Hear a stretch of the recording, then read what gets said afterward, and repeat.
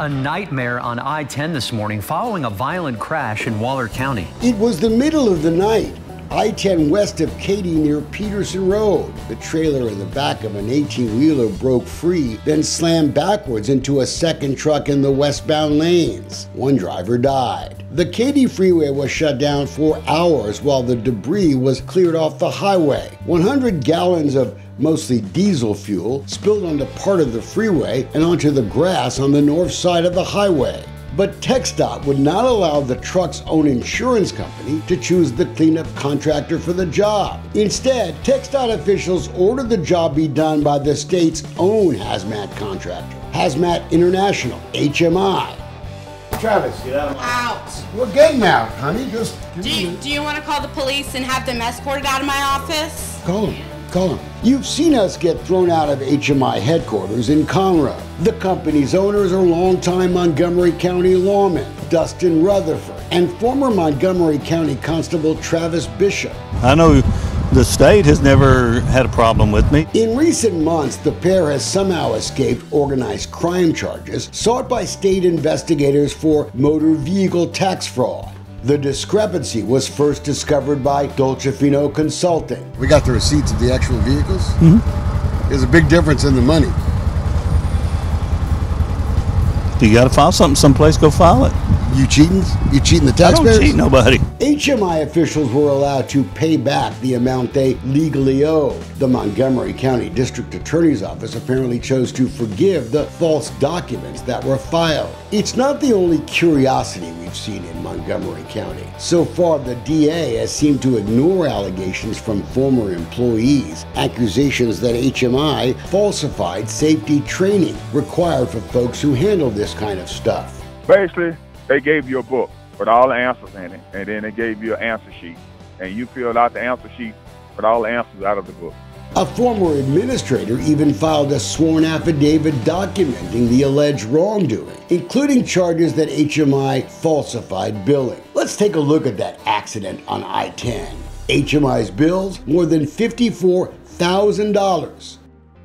Two days to dig up the contaminated grass on a small stretch of the highway, haul it away, then replace it with hydroseed for new grass. TxDOT has repeatedly told us that no one has ever complained about HMI's billings before. But we have records showing insurance company investigators have challenged HMI's invoices many times, including this one when they first arrived a month after the accident. Quoting, $54,690 for a 100 gallon spill on the highway and shoulder? HMI had charged for three roll off trucks to carry away the contaminated grass, when the waste, based on the measurement, could easily have fit in just one truck. $4,800 for closing lanes, even though the freeway was clearly reopened the first day. $2,400 to close a lane the second day, even though this picture shows traffic moving on all lanes. There were missing receipts from that accident scene. $1,750 for alleged decontamination fees,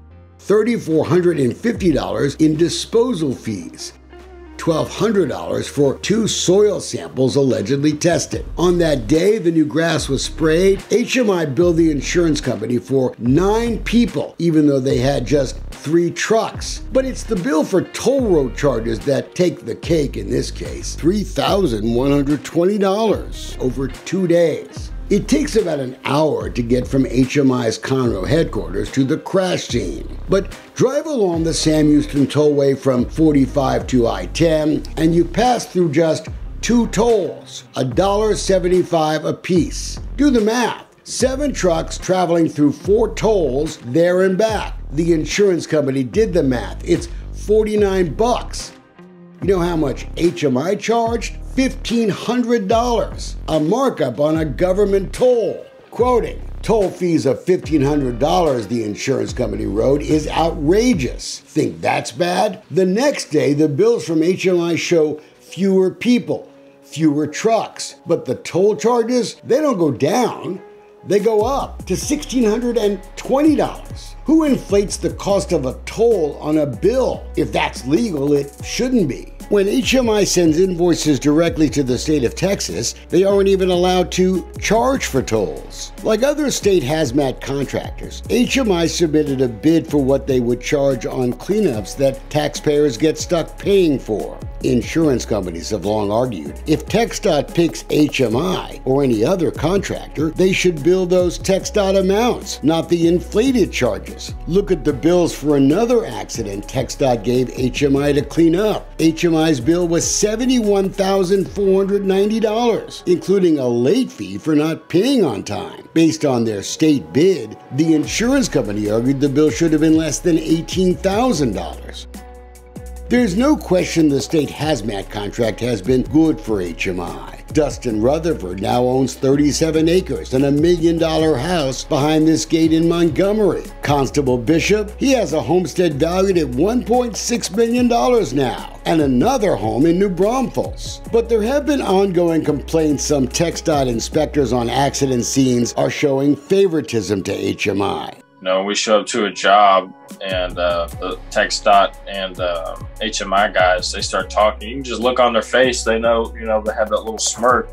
They know what's going to happen, and we know what's going to happen. When a load of granite countertops fell off this truck on I 10, a competing company offered to clean it up for five grand. Drivers are supposed to get to choose who does their cleanup, but TxDOT was accused of steering the job to HMI. We didn't pick any. We didn't pick any tow company.